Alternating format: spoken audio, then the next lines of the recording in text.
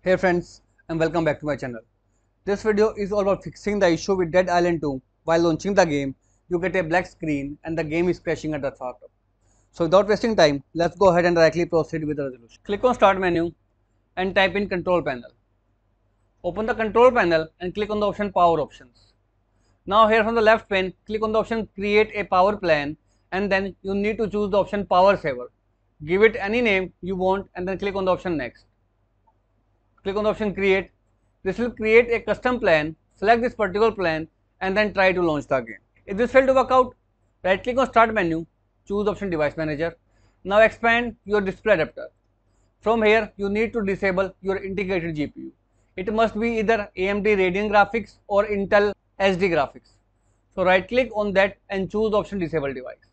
After disabling it, launch your Epic Games launcher, go to a library click on three dot icon next to a game and choose the option manage. Now right over here under the launch options, if this particular option is turned off, you need to turn it on and in the space provided, you need to type in minus dx11. Once you done so, close it. Now go ahead and try to relaunch the game and this will completely fix out the issue of black screen at launch or the game is crashing at the startup.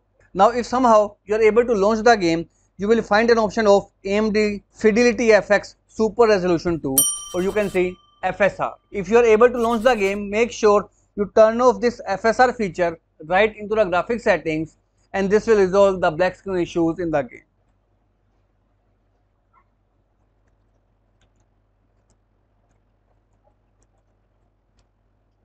Now once the game is launched, click on the options and then choose option display. Now in the display settings, scroll down and click on the option advanced Again scroll down and you will find the option of FSR. So if you are able to launch the game, make sure you turn off the FSR feature and then relaunch the game. And this will completely fix out the issue of black screen while playing the game. And if nothing works, I have a temporary fix. To do so, right click on start menu, choose option run, type services.msc and then hit the enter key.